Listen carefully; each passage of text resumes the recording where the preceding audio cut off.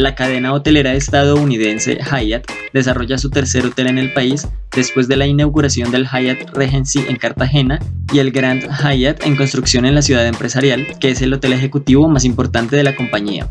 Se trata del Hotel Hyatt Place Corferias, en la Avenida de la Esperanza con carrera 40 en el barrio Quinta Paredes y frente al centro de convenciones Ágora de la ya mencionada entidad. Es muestra del desarrollo del sector y de la influencia de la modernización del recinto ferial. Tendrá 10 pisos y 142 habitaciones.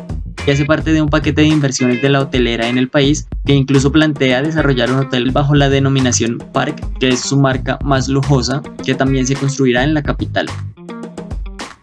Al suroriente de la ciudad se adelanta la obra del cable aéreo de Ciudad Bolívar, que conectará el sector del paraíso con el portal tunal del sistema Transmilenio.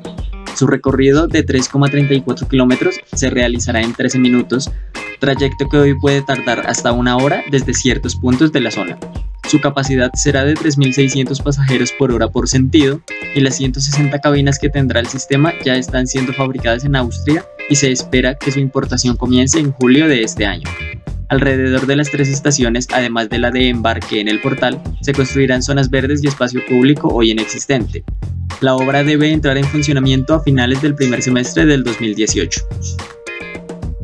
Entre las actividades que se han desarrollado en medio del cronograma para la construcción de la primera línea del metro se encuentra el diseño de las estaciones, para lo cual se abrió un concurso público internacional el mes pasado al que se inscribieron 11 marcas, incluidas compañías de gran renombre como Arup, Foster Partners y OMA.